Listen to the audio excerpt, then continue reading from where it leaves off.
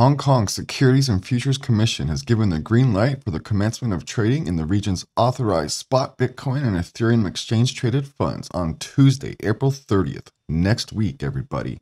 The SFC's recent approval has set the stage for the introduction of several spot Bitcoin and Ethereum ETFs. Among these are the Bosera Hashkey Bitcoin ETF, the Bosera Hashkey Ether ETF, China AMC Bitcoin ETF, China AMC Ether ETF, Harvest Bitcoin Spot ETF, and the Harvest Ether Spot ETF.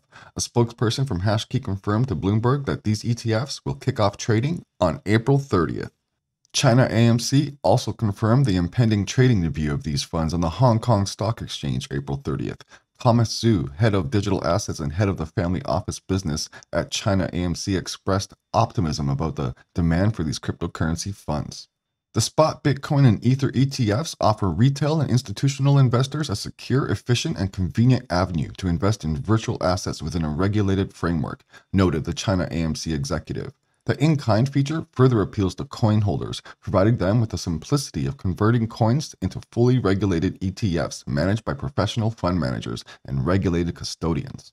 Zhu emphasized, with the growing adoption of ETFs in institutional asset allocation and retail trading in Hong Kong, we anticipate robust demand for our offerings. Additionally, China AMC underlines its readiness to develop innovative investment options and strategic differentiations to aid clients in achieving their investment objectives within this burgeoning asset class, aligning with Hong Kong's aspirations to foster a vibrant Web3 ecosystem.